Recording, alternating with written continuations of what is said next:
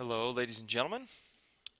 We are back at it another day that uh, unfortunately I am not able to be with you, but you're in good hands, and hopefully this information um, gets to you and makes sense to you by the time it's all said and done, and I hope you enjoy it. Today's uh, topic is going to be covering uh, what takes place after the, the Battle of Gettysburg. So for your off the tee, let's reflect on why did Gettysburg mark the turning point for the war in your opinion? Go ahead and answer that question. Well, hopefully your answer um, had something to do with the fact that it was the high water mark of the South and that Gettysburg marked Lee's first defeat. And uh, by the time um, news had traveled that Lee had lost um, and the Gettysburg Address was made and that they had finally created the National Cemetery, um, the rest of the country had heard about the events of Grant in the West at Vicksburg. Um, and those two major victories really allowed for the Anaconda Plan to, to take full effect. So anyway, remember that Meade did not follow Lee after defeating um, him at Gettysburg. And uh, shortly thereafter, Lincoln fires Meade. Um, pretty typical. And so who did he put in charge? Well, the guy that had success in the West, Grant.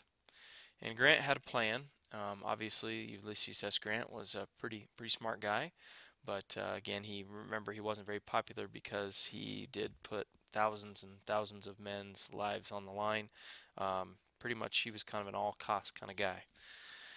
Anyway, um, he was given command of the Union Army uh, in March of 1864 after Lincoln fired Meade and he pretty much had a belief that if I just pursue Lee until he's done um, and gives up, then the war will eventually come to an end. So his goal became to track down the Gray Fox, to go after Robert E. Lee at all costs. And so Grant moved his operations and his his main generals that were under him to the east coast, um, to Virginia, to pursue Lee at all costs. In the midst of that, he had a second part of his plan, which was to send William Tecumseh Sherman, and his job was to push through the, the deep south and destroy everything in his path. And uh, his story, we're going to find out about here in a little bit, um, is known as Sherman's March to the Sea. And what's funny about Sherman, little side note, is that Sherman was viewed as a psycho um, for the most part when it came to the start of the war because he talked about his plan or what he thought should be done well before it was needed. See, Sherman was viewed as kind of a crazy guy because he believed in exactly what they asked him to do at the end of the war. He believed in that at the start of the war. And they said, no, no, that's you're ruthless, that's brutal, we, that's not the kind of tactics we're going to use. But by the time the war got to its end, I mean, four years into it, the desperation had happened and people wanted an end to the war pretty much at all costs. And so Sherman's plan made total sense.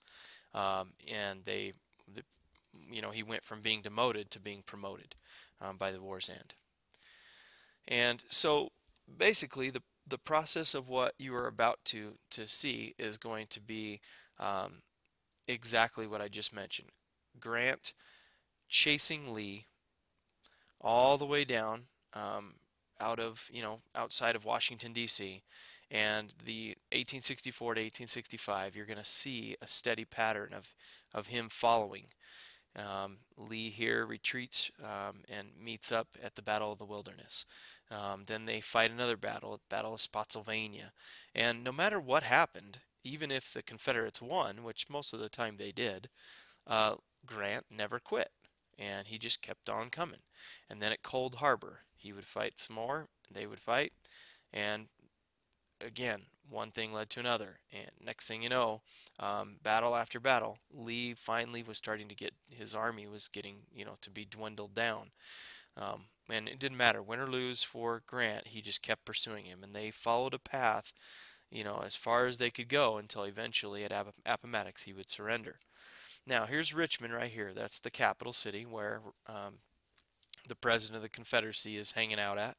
And, uh, you know, these battles outside of the, the, you know, just a short distance from uh, Richmond um, are really making Jefferson Davis nervous. So, I mean, every battle that's fought is really just designed to get closer and closer to Richmond.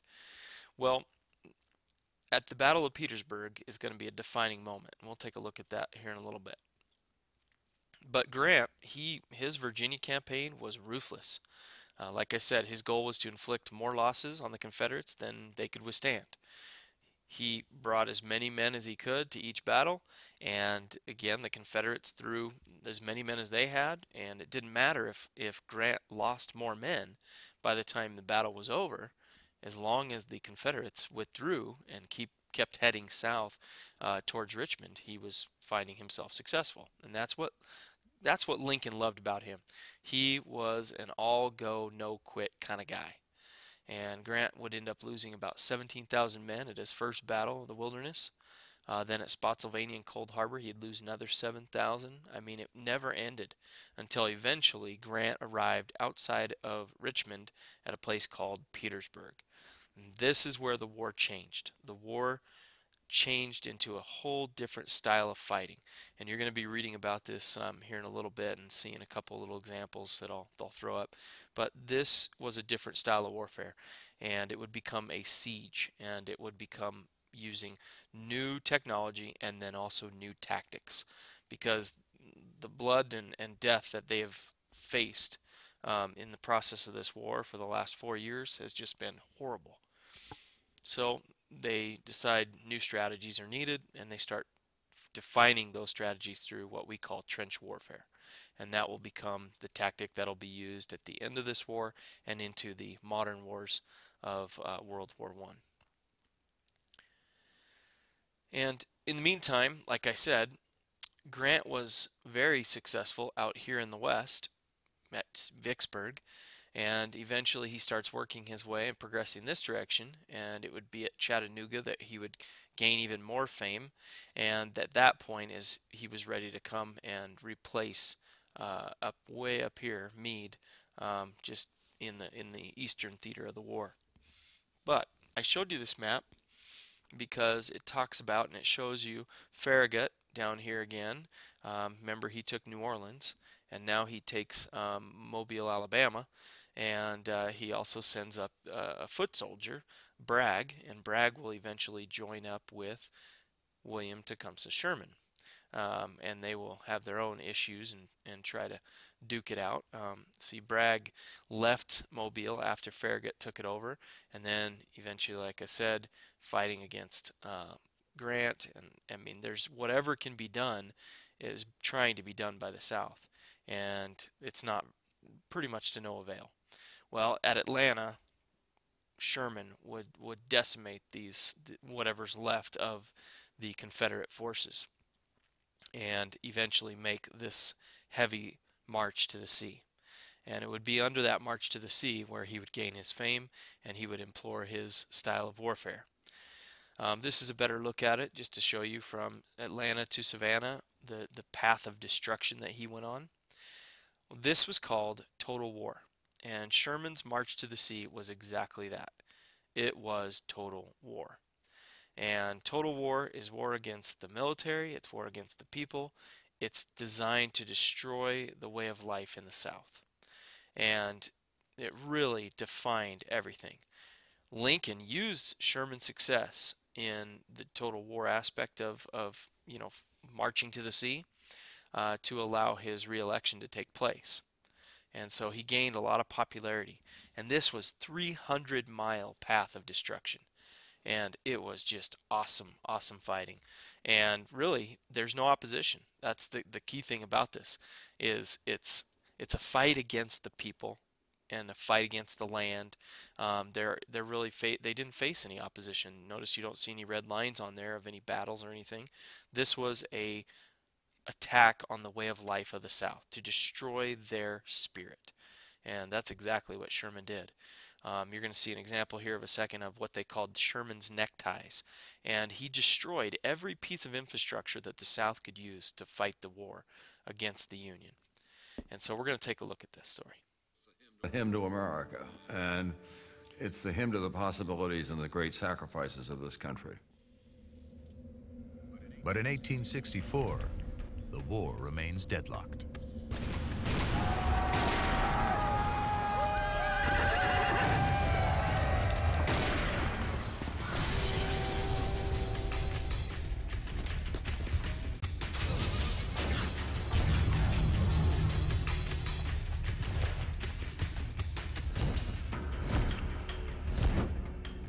With an election looming and a challenge coming from those who want to negotiate a peace with the South, Lincoln knows he needs to land a decisive blow. At some point, somebody gets tired. Somebody blinks. Somebody makes a mistake. And when you're talking about war, that mistake, that's everything. Lincoln puts the North's entire industrial might behind one final push. The man who will lead the charge from Chattanooga to Atlanta, William Sherman. His orders to stop for nothing. I would make this war as severe as possible and show no symptoms of tiring till the South begs for mercy.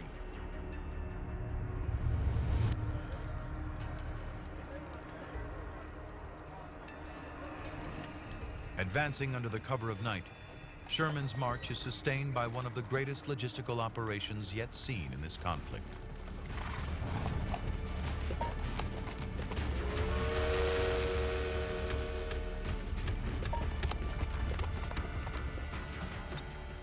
Sherman knows he needs to throw everything he's got at the Confederate Army. While he uses his own supply lines to maximum effect, he destroys those of the South, ripping up their railroad and bending it beyond use.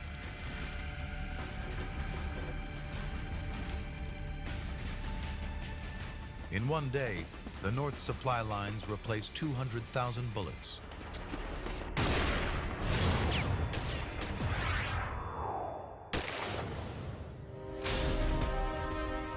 South is left scavenging on the battlefield for spent rounds, food, even old boots.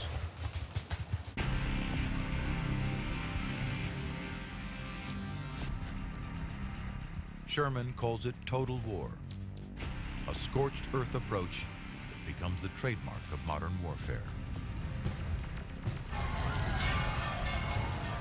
Finally, with Atlanta under siege, Confederate forces set fire to their own munition stores before abandoning their city to the Union soldiers.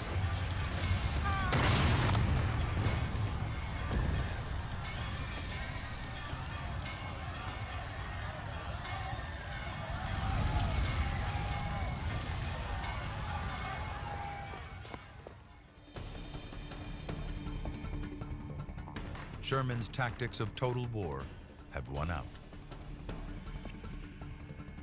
His victory helped secure Lincoln's election in the fall. With Atlanta in ruins, he just keeps going, now launching what will be his final assault, the March to the Sea. In the 19th century equivalent of shock and awe, 62,000 Union soldiers wreak a 60-mile wide path of destruction across Georgia. From Atlanta to the coast at Savannah. Supply lines are cut. Villages are sacked and crops torched. Anything of military value is destroyed.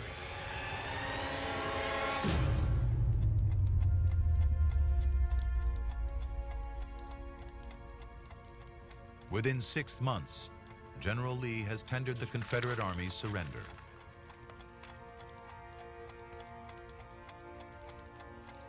The rebellion is over. The South will have to submit to the Union and bring an end to slavery. By the act of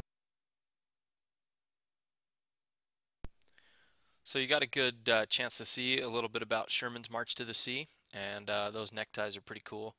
Um, but the next phase in this process is the fall of Richmond. That was the key.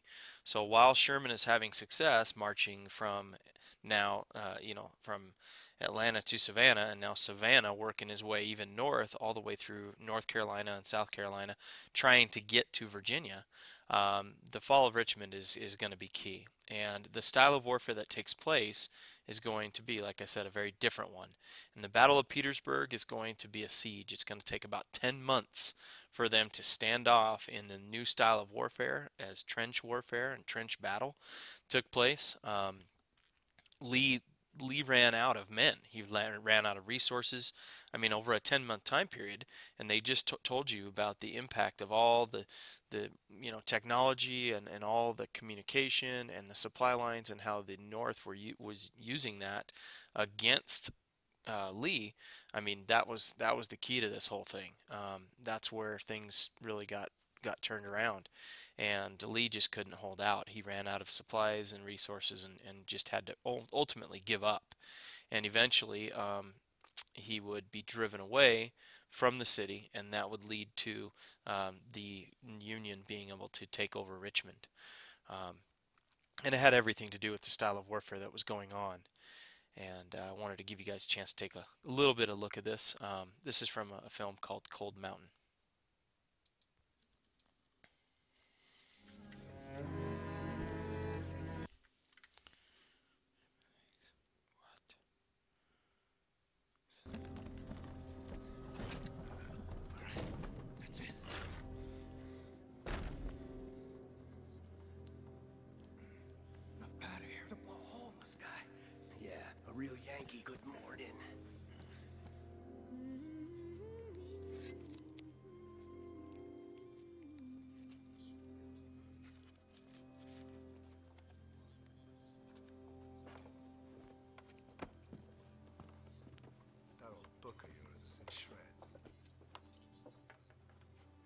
Same as us.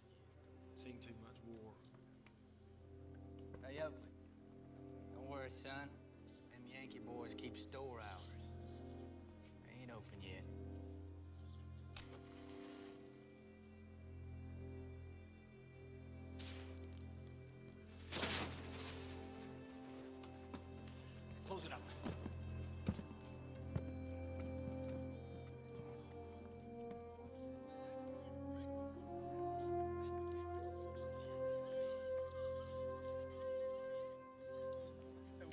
Come from?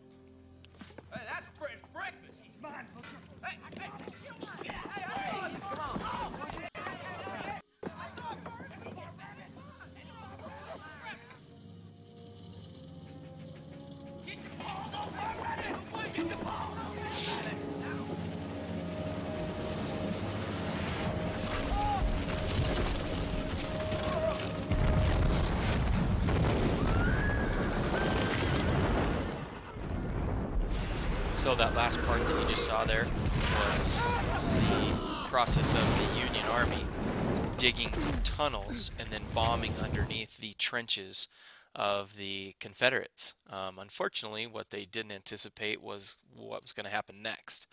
And so this kind of gives you a sense of uh, how they made a mistake with their um, their engineering.